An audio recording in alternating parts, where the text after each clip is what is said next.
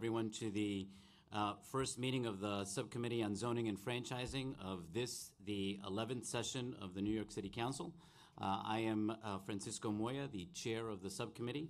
Uh, I am happy to be joined by uh, my colleagues here today, uh, Costa Constantinides, Rory Lancman, Steve Levin, Donovan Richards, Richie Torres, Barry Grodenchik, uh, Carlina Rivera, and we are also joined uh, today by Councilmember uh. Uh, Thank you for being here.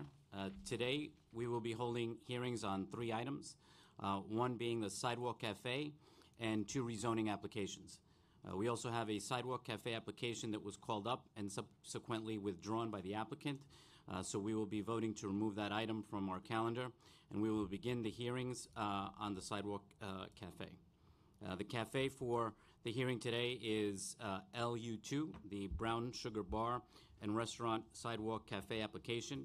Uh, This is an application by the restaurant owner uh, for a revocable consent to maintain and operate an unenclosed sidewalk cafe uh, to be located at 5060 Broadway in uh, Councilmember Rodriguez's district in Manhattan. And uh, I will now open the public hearing on LU2. Uh, Since there are uh, no one who is uh, signed up, if there's any members of the public who wish to testify on this item, uh, please let us know. Uh, Seeing none, I will now close the public hearing on this item. Uh, We will now move on to the public hearing on the first of our two rezoning applications, uh, LU3, uh, the 116 Bedford Avenue rezoning.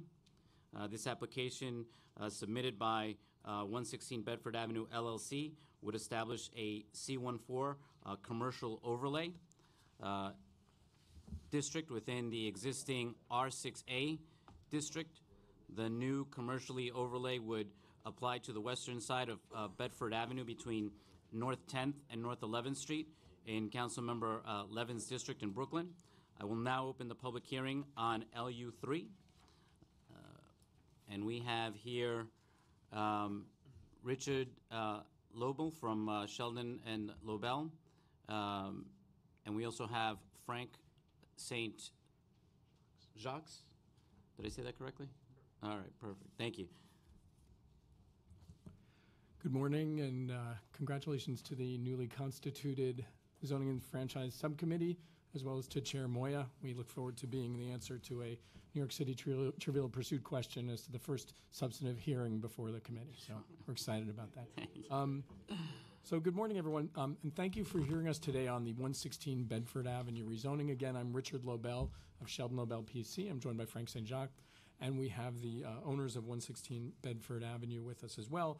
And so the application, of course, is for a rezoning. And while we come to the subcommittee with a range of rezoning applications, this one is an extremely minor type of rezoning, and as you can see from the uh, cover page, involves merely a commercial overlay, a C14 overlay, placed on an existing R6A district. So, a highlight of the proposed rezoning can be seen in the red circle. Um, currently, the uh, property is within the block frontage on uh, Bedford Avenue between North 10th and 11th is an R6A zoning district, and so we're merely adding a C14 dis- uh, overlay district. What does this do? It does not change the underlying bulk. It doesn't change uh, the envelope of the building. What it does is it enables this block frontage now to have ground floor commercial use, and so um, it would add this commercial overlay on this one block front. Uh, next, next slide. So uh, here's a, a relief uh, eagle eye view of the block front between North 10th and North 11th. Next slide. And so this is just a uh, a map which shows with a little bit more specificity specificity what is actually existing on this block. So uh, the block itself was zoned M12 R6 for quite some time from 1961 through 1975, and then there was a rezoning through 2005. So for about 40 years, it existed as an M12 R6 block. In the Greenpoint Williamsburg rezoning in 2005, this block frontage was not given a commercial overlay. However, the six blocks along the western side of Bedford Avenue to the south were all zoned commercial. So it's clearly part of a, an existing commercial thoroughfare along Bedford. In addition, you can see three block frontages to the east side of Bedford here are also zoned C14. And so the applicant here is attempting to type of, kind of reestablish what actually exists on the ground on the zoning map. And you can see that by looking at the next slide, which is existing uses. So uh, the red dots in that highlighted area on the western side of the block front uh, constitute the commercial use, current commercial uses or uh, buildings which are legally commercial, meaning they've got a commercial storefront in which commercial use can be reactivated. And so you've got our lot highlighted in green, and then you've got on this block front five additional uh, storefronts. So of the total of nine lots, because there's one lot on North 10th Street which exists to the rear of the frontage, of the nine lots that are located on this uh, block front, the commercial overlay district here would result in legalizing six of these using uses, making them legal continued commercial uses. They're able to exist legally now, but they are legal nonconforming uses, which leads to issues when, for example, they want to make changes at the Department of Buildings, if they want to uh, receive any type of bank financing, whereas the uh, commercial overlay will reestablish really what's uh, existing on the ground.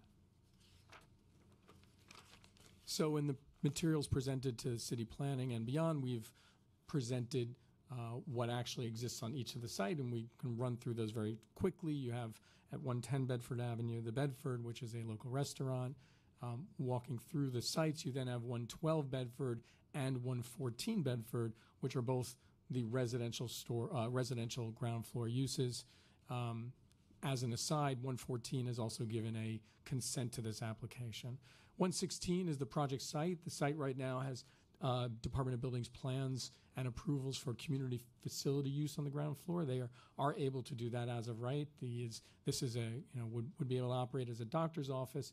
And as an aside, doctor's offices could be considered both use group four community facility and use group six commercial. So you can see that there's really very close use pattern between what would be permitted and what we're seeking here. Um, you can go to the next few slides. So you have 118 Bedford, which was an existing commercial use. Uh, I understand that the owner has fallen ill, so that, that use is commercial but is not currently used for its former use as a, as a food store. Uh, 120 Bedford, which is now, uh, I understand, opening a sandwich shop. And then 122 Bedford, also a commercial frontage, uh, at which, which is currently vacant. And then finally 124 Bedford, which has uh, an existing uh, bar restaurant as well as a uh, salon. And then uh, the around the corner, that additional lot we talked about being 143 North 10th Street. So indeed, well over 50% of the uses on this block frontage are either commercial or legally allowed to be occupied by commercial. Um, the zoning map comparison on the next page demonstrates what we showed before, which is the existing R6A versus the R6A with the C14. And then more broadly on the next page with the land use map, it's interesting to note that um, these blocks are actually um, have existing commercial use beyond the, the frontages. So if you take a look at the M12 R6A, there's an M12 R6A district already existing on this block itself, which means that within 100 feet of these properties, sometimes less, you would be able to occupy that space with a seriously intensive commercial use and M12 use, uh, manufacturing use. So this is not a block which is far into commercial uses, um, should those be desired in, M- in an M12 district. Um, the rezoning rationale on the last page, and I'll be um, fi- finishing up soon in case anyone has any questions. Um, but the rezoning rationale is, of course, first that it's consistent with these existing six blocks of C14 overlay. Um, it brings the local commercial uses into conformance. It would permit new commercial use in line with existing patterns in the area, as was noted by city planning, and will not alter the currently permitted R6A bulk. I would note that if you look one block to the west, you see two C24 uh, overlays along Berry on the western side and one on the eastern side. And those overlay districts actually did not exist uh, prior to rezonings in 2009 and 2011. Um, those, you know, basically were for C24 districts, which are arguably a little bit more intensive than a C14 district, permit a greater range of commercial uses. And we're also on, uh, in the case of the C24s on the western portion, we're on blocks which were entirely re- zoned residential as opposed to R lots. So, by way of comparison, again, we're asking for C14, those were C24. Our block has an existing M12 mixed use district. Those blocks were entirely R6 residential. Um, and again, uh, just hitting on the rezoning ras- rationale, five of these eight buildings representing 125 feet of frontage uh, currently have commercial use as well. Only two blo- uh, two lots uh, amounting to 50 feet or 25% of the frontage are residential. Um, finally, neighborhood support. Uh, there's a, a, a map which demonstrates the consents that were received by the applicant. Uh, after the community board hearing, when it was apparent that there was going to be more discussion about this application, uh, the, the owners went out and, and solicited consents from the neighbors. They were, as you can see in the green dots on the block frontage, able to receive um, one, two, three, four, five, six, seven, eight consents inclusive of the project site. Uh, and the ninth, one of the uh, one of the properties, 118 Bedford, currently has a commercial frontage. So, uh, out of the nine lots affected by this rezoning, eight of them have either issued consents or have existing commercial frontage, leaving only one uh, lot that was, uh, you know, that did not issue a consent or had commercial. Finally, um, we discussed the CPC approval, which was that um, the map amendment would facilitate the use of ground floor commercial at 116 Bedford, um, that it would bring these five other commercial uses into conformance, that C14 as a district allows local retail uses, is seen to be compatible with local retail and as well as as well as R6A, uh, uh, an R6A district. This is this is um, this is a district which is mapped many times throughout the city on R6A districts. Uh, and then the commission believes that extending the existing C14 would be consistent with land use along Bedford Avenue. Finally, there's the applicant commitments. The applicant um, did issue a letter to both the Brooklyn Borough President and subsequently the City Planning Commission, and basically, in response to some of the concerns that were raised, um, designated certain conditions that they would satisfy, that they would designate a primary point of contact, a superintendent or management company to receive and address concerns related to the building, provide contact information for the commercial tenant to address immediate on-site concerns, require a commercial tenant to consult a sound engineer, require that tenant to limit any applicable hours of operation for a sidewalk cafe, and to install security cameras and lighting to minimize safety concerns. I- I would note that the owners here are have six residential units in the building. Uh, th- this is their building going forward. They, of course, want to be good neighbors. They want to make sure that they're not um, going to be doing anything adverse to both their tenants, but also to the larger community. So we're uh, excited about the opportunity here, and we hope we can proceed in a successful fashion. And so that concludes our statements with regards to the rezoning, and uh, we remain uh, happy to answer any questions. Uh, Councilmember Le- Levine has, uh, Levin, sorry, has uh, questions. Thanks. Um, Thank you very much, Mr. Chair, my apologies to everybody um, for keeping you waiting. Um, uh, So, uh, Richard, I just want to uh, uh, acknowledge um, that uh, the Community Board did vote against this uh, proposal um, unanimously. Yes. Um, and uh, you spoke about uh, outreach that was done by the owner subsequent to that vote. I did speak with um, representative from the community board this morning, um, and uh, you know the reason why uh, the community board voted, um, if I were to characterize their vote, um, is that along Bedford Avenue, as anyone, uh, uh, a lot of New Yorkers would know, um, particularly Brooklynites, that you know Bedford Avenue in the north side of Williamsburg has really turned into um, it's kind of like Greenwich Village, you know, in the in the in the '60s or something. It's it's a it's a huge amount of um, nightlife activity. Um, you know, nights and weekends are really turned into a you know this kind of international party scene, um, which you know is uh, with all uh, accompanying uh, disturbances. So the concern that uh, residents have is, is just another bar that would be open till 4 a.m. Uh, that uh, would contribute to um, you know more disturbances along uh, one of the qu- quieter blocks of Bedford Avenue on the north side. So um, the commitment that uh, the applicant made, uh, Brooklyn Standard Properties, in a letter uh, today, which uh, it, I don't think you mentioned in the, in the commitments here, is that um, in addition to these commitments, that, that you would refrain, or your, your uh, client would refrain from leasing the ground floor commercial space to a bar or nightclub tenant. Um, That would be well received by the community at large. Um, uh, You know, understanding that there's a, uh, uh, an existing um, uh, reality on that block with the commercial tenants, um, that those uses can continue in perpetuity, whether it's the current uh, proprietor or a future proprietor. Uh, That includes on the other properties on the block aside from this property, uh, bar and nightclub use, um, pending, you know, or a- a liquor license approval by SLA. So um, the commitment to refrain from re- uh, leasing to a bar uh, or nightclub, uh, I think is, it would be well received. And in light of that, I'm, I'm willing to uh, uh, lend my support to this application, um, uh, you know, so long as that commitment is honored. Uh, Councilmember Levin, uh, the applicant remains completely committed to making that uh, commitment to the, to, to you, to the council, to the community board. Uh, You're correct. I mean, the notation in the, in the committee's discussion at the community board was that um, the committee noted these concerns were in line with the standing concern of the full board that there has been an uncontrolled proliferation of bars and pubs. And so, in an effort to directly address that, um, the applicant issued that letter to you and remains um, completely committed to doing so, and, and hopefully will move forward in a way that's going to um, satisfy everyone in the community. Great, thank you. Thank you. I'd like to acknowledge that we've been joined by uh, the chairman of uh, Land Use, uh, Councilman uh, Salamanca. Uh, Thank you for being here this morning. Um, Now, are there um, any, anyone else that had questions from the panel? No? Uh, Are there any members of the public uh, who wish to testify on this item?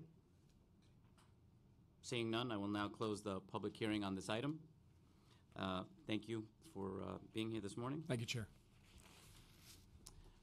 Uh, The uh, last application for today's public hearing is the 587 uh, Bergen Street rezoning application, the uh, LUs 4 and 5.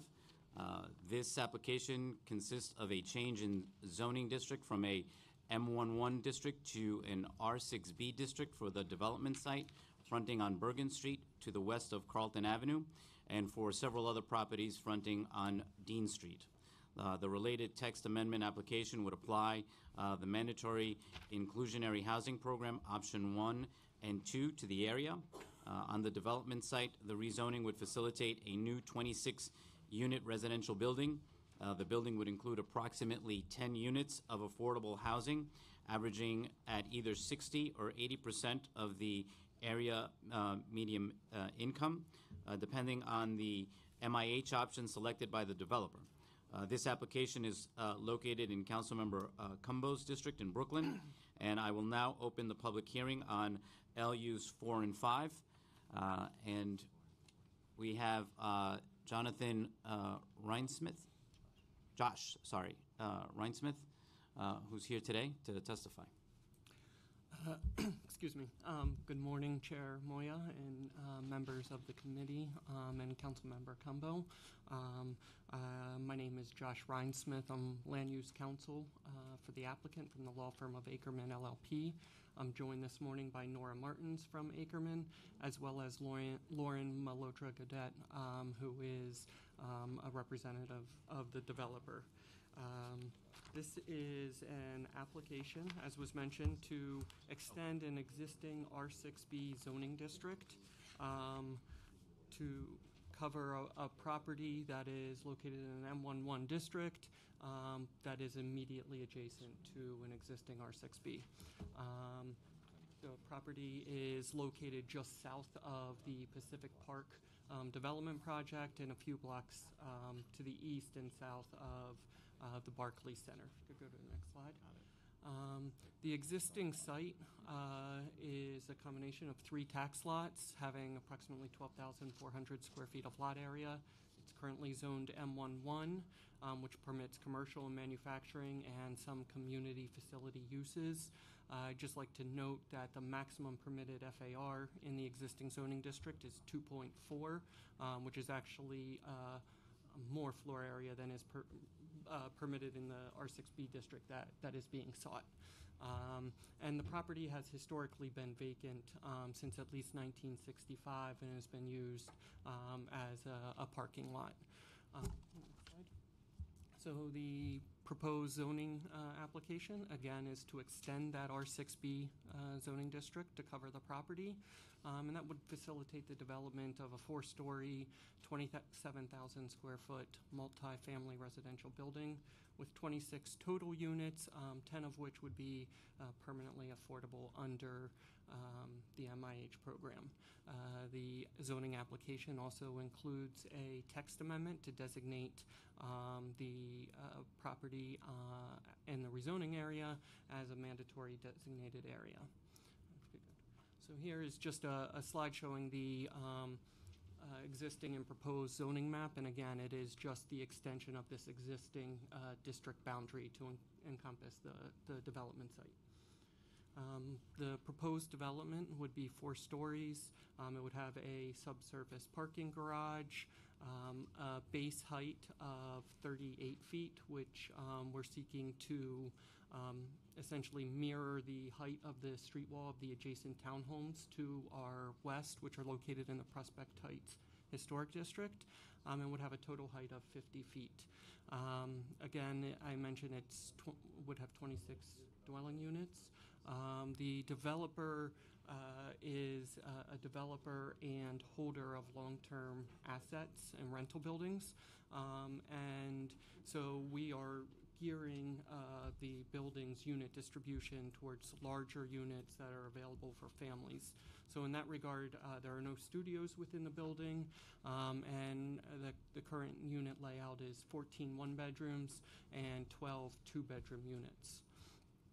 Um, Could we go back? Uh, And uh, there would be 13 parking spaces within the subsurface garage, which would exceed the the zoning requirement. Um, During the community board review, we had met with uh, the land use committee of Community Board Eight as well as the full community board. Um, The community board uh, passed a resolution in support of the application um, on two conditions. Um, The first was, if you could go to the next slide. Uh, I'm sorry, one more. Um, The first was that uh, we modify the original design of the building. If you can see the rendering on the left was what was originally proposed. And on each end of the building, we had two permitted obstructions um, within the initial uh, height limitation called dormers. Um, And one of the concerns that was raised by the community was that these dormers did not align um, and maintain the street wall context of the existing townhomes that are located um, to the west and also within the Prospect Heights Historic District. Um, And so in response to that, we agreed to um, provide uh, a full 15-foot setback on the um, the fourth floor um, in order to maintain the street wall context and align the height of our street wall with that of the adjoining townhomes um, and to reduce the visibility of the fourth floor from um, the street. The second um, condition was that we provide um, 24-hour contact information um, for the developer and the developer's project manager um, upon the commencement of construction, um, so that uh, members of the um, surrounding uh, properties, um, both on Bergen Street and Dean Street, as well as the community board, would have access to the developer in, during construction um, to uh, get in contact with us in the event that there are any concerns or issues arise. Um, And then uh, we have been um, in contact and discussions with uh, council members, uh, Councilmember Cumbo's office. Um, And we'd like to thank um, the council member and her staff for their time and effort and and guidance in connection with the project.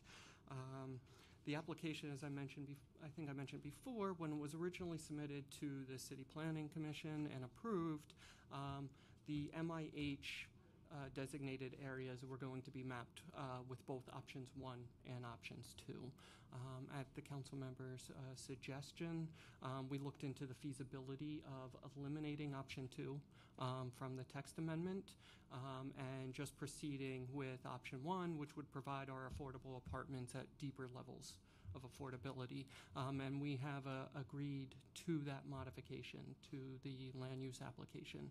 Um, And so now um, the, uh, the affordable apartments would be provided at an average of 60% AMI, with 10% of the, the uh, units being um, at 40% AMI.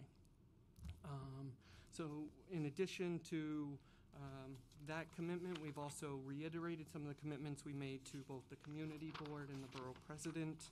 Um, The first is uh, the uh, re- reduction in the dormers um, so that they're set back to maintain that street wall context.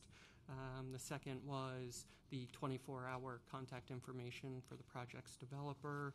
Uh, In addition, um, we will be working with local uh, third-party administering agents who will be responsible for the marketing and lease-up of the affordable apartments. Um, And we're looking to incorporate green and sustainable design features in the building, um, and currently are investigating the use of a combination of a solar and green roof to the building. Um, Lastly, I'd like to to reiterate that the developer is a minority business enterprise, um, and we're we're currently seeking um, city-certified MWBE um, uh, certification. Um, But we are a local Brooklyn-based developer, um, and uh, historically on our projects, uh, approximately 50%, if not more, of the subcontracts and suppliers uh, on our projects are Brooklyn-based, and we will work with both the council member and the borough president to advertise um, subcontracting opportunities uh, when the time arises.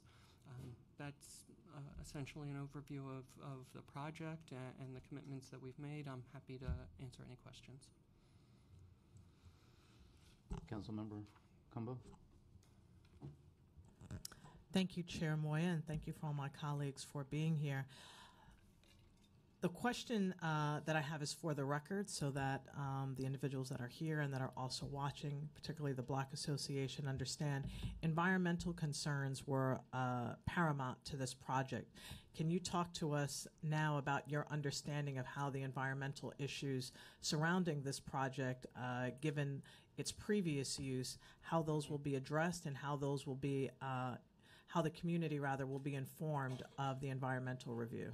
So, um, in connection with the environmental review of the land use application, uh, an E designation um, has been imposed on the site or will be imposed on the site um, if this application is approved.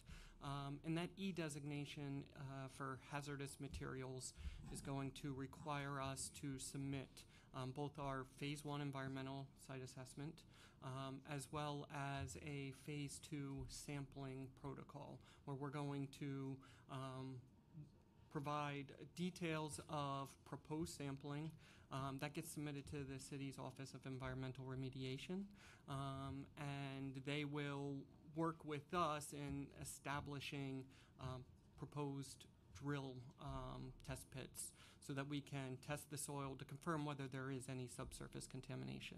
Um, we can provide a copy of the proposed um, soil sampling to um, your office, uh, Councilmember Cumbo, um, and advise the neighbors as to where we've worked with um, OER to establish where sampling is going to occur. We will do that once the phase uh, two sampling protocol is approved um, by OER. We will then conduct the actual sampling. uh, the results of that sampling have to be uh, submitted to OER. Um, if any contamination is found, we will have to remediate uh, and, and clean up any contamination that exists before um, OER will sign off on the, the project, and that would be before we could pull a building permit for the proposed project. Um, so the site will be remediated if there is any contamination, um, so that it's ensured that uh, it is safe for the, the residents of the new building, but also um, part of the plan that is submitted um, for any remediation um, takes into consideration protection of surrounding neighbors, making sure that during our soil borings, during any remediation activity, that we are taking measures to prevent any contaminants, uh, should they be there, um, from adversely affecting the surrounding uh, community members. And how long, to your knowledge, has this particular uh, lot been utilized as a parking lot? Um, so we uh, researched the Sanborn maps, which are historical fire insurance uh, maps, and it appears it's been a parking lot since um, at least 1965. There's a gap in the Sanborn maps um, from approximately the 1930s to 1965, so we can't be certain. Um, but Sanborn back, maps dating back 60 years um, have shown that it, it's been a parking lot. And in your experience from doing this type of work, are spaces that have been utilized for a parking lot for that period of time usually those types of lots that have uh, serious uh, environmental concerns, or are you finding that it's usually more for industrial and manufacturing spaces that were used previously? Typically, it is for spaces that have been, or properties that have been used for manufacturing activity. Um, the property, I will say, had at times been used to store um, some uh, solvents that were um, used by the, the prior owner in some of their other properties in, on the block. Um, we believe it, the property's been capped, uh, but that is the reason why our, our um, phase one, which is just a visual site assessment, um, didn't recognize any uh, environmental conditions. Notwithstanding that, uh, we are mapping the E designation, which will require us to actually do the borings and confirm whether there is any um, subsurface contamination. I just want to I understand everything that you stated. I just want you to work very closely, as you stated, with my office, but certainly hand in hand with the block association around the environmental review process, um, so that the neighbors, um, the community, the block association are well informed of the progress, um, so that they can have the peace of mind and comfortability um, as construction is happening. Understood, and, and we're happy to do so. Can you talk to me about uh, the architectural design of the parking lot in terms of how that's going to be structured and what that's going to look like? And So the, the parking lot um, will be a subsurface parking garage. Um, we would have one uh, entrance on Bergen Street um, on the east side of the building that would lead down to a ramp. Um, currently, we're proposing self parking because we have enough space um, for the spaces to be uh, for cars to maneuver in and out within the garage. Um, and uh, right now, we have 13 uh, parking spaces. Um, I think, as I had mentioned in the presentation, uh, eight are required under zoning. I think that's a phenomenal aspect of this project because so much of the development that we see, um, developers are often coming to waive uh, their parking requirements. So this is really positive that for this neighborhood that uh, that level of parking will be coming into the community. Can you also talk about the um, the the top? So the the roof will be utilized in what way? For solar panels, or will it be utilized or ac- accessible to the residents of the of the building? So the very top of the building will be a combination. Um, so this would be the fourth floor roof.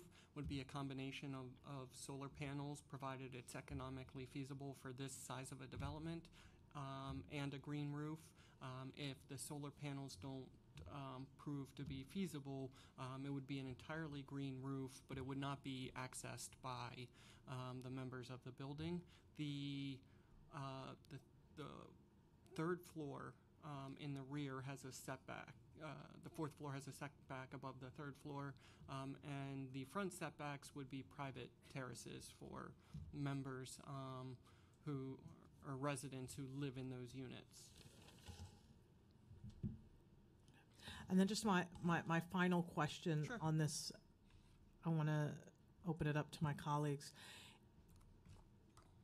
So one of the main things that happens in this process is that there are many things that the residents would like to see um, binding as part of the project. Often we can't make everything that we'd like to see binding, but what we do rely upon is the fact that the developer has a previous track record and would also want to move forward with doing other projects in the city that it would behoove them to have a, a good record of um, adhering to what's provided in documentation, understanding what residents in the district have stated that they want to see as part of the project. Can you talk a little bit about uh, the developer's past and um, some of the projects that they've done to demonstrate that they are um, listening to the community and we have a good understanding that they will also continue to do so? Yeah, I think one of the, the developers' uh, recent projects um, would be uh, in Fort Greene on Adelphi Street, where they basically um, purchased a dilapidated, uh, rundown uh, church um, and did a significant amount of restoration in connection with uh, landmarks approval to preserve the church. The church was um, located in a historic district, but not an individual landmark, um, and, and really spent significant resources um, to to make this a, a beautiful place um, to live. It was converted to residential, but they were able to uh, maintain the structural integrity of that church. They used local um, Brooklyn. Uh, companies to provide new stained glass, um, and I think we bring that level of commitment to um, to our projects. Um, the, pro- the the developer also owns 594 Dean Street, which is actually located immediately behind the property. Um, there has been concerns that have been raised uh, wi- to us about the one of our tenants in that building, which is the U.S. Post Office. Um, we've been we heard the, the considerations of the community. We have repeatedly been speaking to um, the post office to try uh, try to address some of the concerns.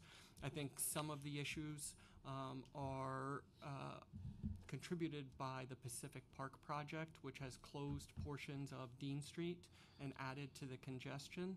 That being said, we're committed to a continuing dialogue with the post office, but I would actually um, reach out and request your assistance as well in trying to deal with um, the post office because they are a federal government um, agency and, and have not been as responsive as I think uh, we would like, as well as um, some of the members of, of the Dean Street Block Association. Certainly, okay, thank you. I can't promise miracles there, but I certainly will work with you. I, I, we appreciate that. Okay, um, that's the end of my questions. I'm going to turn it back over to the chair for potential additional questions from my colleagues. Thank you. Is there any questions? No? Um, We have...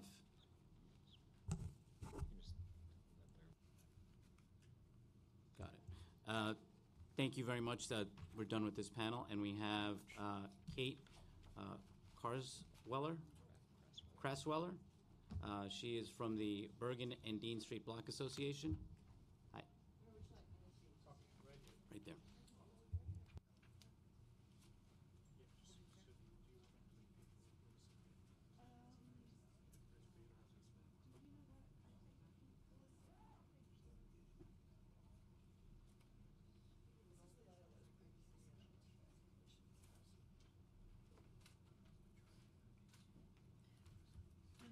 Hi. Um, my name's Kate Crossweller. Oh, I'm sorry. Is that better? Okay. Um, my name is Kate Crossweller. I'm here representing the Bergen Street and Dean Street Block Association. Um, we have been, um, as Mr. Rinesmith said, um, in discussion about this development at 590 Bergen Street. I believe um, Councilwoman Cumbo and Mr. Rinesmith covered quite a few of the questions and concerns we have about the development. Um, the first being the scale of the proposed development, and we do appreciate that in the previous talks that um, the uh, agreement that the setback go to 15 feet and the dormers be removed um, to help um, really keep this building in keeping with the landmarked character of the um, adjacent uh, historical district.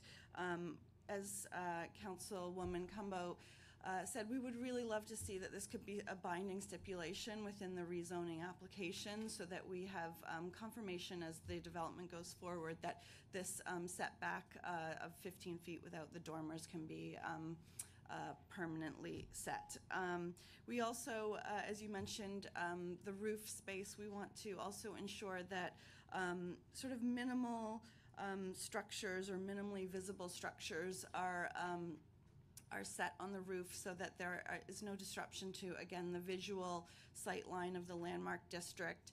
Um, um, Things like elevated solar panels, cabanas that could lead to the overall um, extension of the height of the building as seen by the street, um, we would be opposed to. So we'd really like the assurances of the developer that, that um, any uh, developments uh, on the roof are um, limited and minimally visible from the street. Um, But again, I think you covered um, some um, concessions um, that were agreed upon um, on this topic.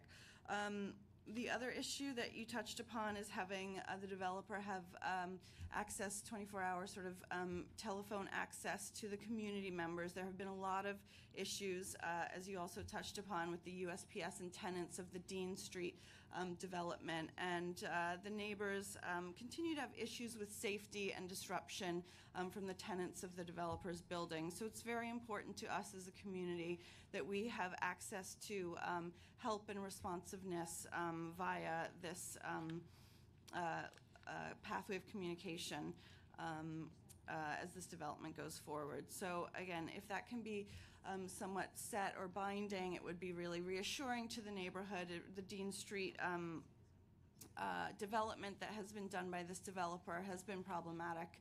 Um, And so we just would really like the community to have somebody um, that can, um, uh, that can be reached at all times as this development goes forward. Um, And then the third thing that you, that we had concerns about, but also that you touched upon, was the environmental issues. Um, Yes, the lot has been used as uh, parking over the decades, but also, as you touched upon, as chemical storage at points. And so uh, we would really appreciate partnership with the developer as this process goes forward um, in um, uh, this Phase Two uh, environmental sampling. So uh, we just like we'd like those three things that have been discussed to be um, definitely uh, followed through with, with this development. So, okay, thank you. Thank you. Councilwoman uh, Cumbo uh, would like to read a statement? Thank you, Chair Moya. Uh, Thank you for allowing me to speak this morning on behalf of 587, 597 Bergen Street rezoning. I appreciate these opportunities when the public can share their thoughts on the process and the application. I thank you. It is meaningful to allow the hopes and aspirations of our constituents to come forward, and I would like to acknowledge Kate Crasweller from Bergen Street, as well as Alicia Howard from Dean Street Block Association. As your council member of the 35th District, I represent Fort Greene, Clinton Hill, Prospect Heights, Crown Heights, and parts of Bedford Stuyvesant.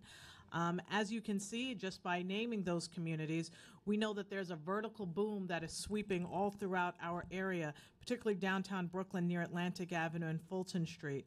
And developers are moving into the area and very quickly changing the landscape.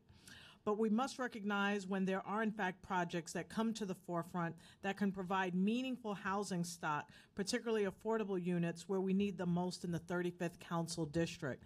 I'm very pleased that this project uh, doesn't dramatically change the landscape. Um, it's contextual, it fits within uh, the height requirements within that particular area. We have met with the developers and expressed the urgency by which the dormers must be removed. Um, and this was a stipulation that the Block Association put forward. And I believe that this partnership or being able to come to an agreement um, shows a certain strong act of good faith. I also appreciate the community and the developer agreed on a good neighbor policy and having a 24-hour contact number during construction. And I think that this is going to set a precedent um, throughout our district in terms of what responsible development looks like. Because so often development happens and residents have no way to contact anyone um, about anything from rat infestations um, all the way to garbage removal and the time in which work begins, um, which changes from time to time. I'm also very pleased about creating a plan that has fair, affordable housing and administered through a not-for-profit, and we are working with the development team to um, identify that not-for-profit that has deep roots in the community is crucial to the success of the project. And amenities and finishes for the MIH units must be the same for those that are market rate. So that was also an important uh, stipulation that the Black Association the community want to make sure that there's consistency so that the affordable units do not look different um, from the market rate units. I'm pleased that we were able to come to a strong compromise on the MIH option where we are going to have between 8 to 10 of the 26 units are going to be low income and affordable units. This is uh, for those making between uh, 30,000 to $70,000 a year for a family of four which is a very important uh, opportunity uh, for those at different income levels to be a part of this process. I appreciate the developer's choices to select green and sustainable design features and integrate the work of local artists and or artisans in the proposed development. Many of you may know my background and I certainly um, like to see creativity um, as well as local artists that are part of the community um, to be allowed the, the opportunity to create creative spaces um, that are keeping with Brooklyn culture. Lastly, local hiring and MWB participation is essential, and it is our collective responsibility to actively reach out to the surrounding community, including minority and women-owned businesses, small businesses, and entrepreneurs. Uh, we must take stock of innovative companies that are entering the market, as well as industries where MWBEs have not previously operated in, and figure out how to utilize their services. This is the best way to ensure that MWBEs are competing on a level playing field. Thank you for allowing me to express my support for this application. Um, hearing the commitments of the developer um, has made this project meaningful for the community, and I thank uh, everyone that has participated. I particularly thank the Block Association um, for making this a better project, a more responsible project, um, and one that we can be proud of. Thank you, Chair Moya. Thank you, Councilwoman uh, Cumbo. Uh, Are there any members of the public uh, who wish to testify on this item? Seeing none, uh, we will uh, now close the public hearing uh, on these items. Uh, I will now be calling a vote on all the applications on our calendar. Uh, We will be voting to recommend approval of LU2, uh, the Brown Sugar Bar and Restaurant Sidewalk Cafe, and we will be voting to recommend the approval of LU3, the Bedford Avenue Commercial Overlay Application, and to recommend approval with modifications of LUs 4 and 5, uh, the Bergen Street rezoning. The modifications to LUs 4 and 5 is to eliminate the MIH option 2 in order to ensure that the development utilizes MIH uh, option 1. Uh, Council members uh, Levine, Rodriguez, and uh, Cumbo uh, support these recommendations. We are also voting for, to file LU1 and the El Patino Sidewalk Cafe application. This application was withdrawn after the Department of Parks and Recreation uh, determined that the cafe would interfere with uh, their construction project on the sidewalk. Um, Are there any questions from the members of uh, the subcommittee? Seeing none, I will now uh, call on a vote to approve LU uh, 2 and LU 3, approve LU 4 and 5 with the modification I just described, and file LU 1. Um, Council, please uh, call the roll. Chair Moya. Aye. Councilmember Grodenchik. Councilmember Constantinides. Aye, I know. Councilmember Lancman. Aye. Councilmember Levin. Aye. Councilmember Richards. Aye. Councilmember Rivera. Aye. And Councilmember Torres. By a vote of eight in the affirmative, zero in the negative, and zero abstentions, LUs two and three are approved. LU four and five are approved with modifications, and LU one is filed, and all items are referred to the full Land Use Committee. Thank you. Meeting's adjourned. You're not really supposed to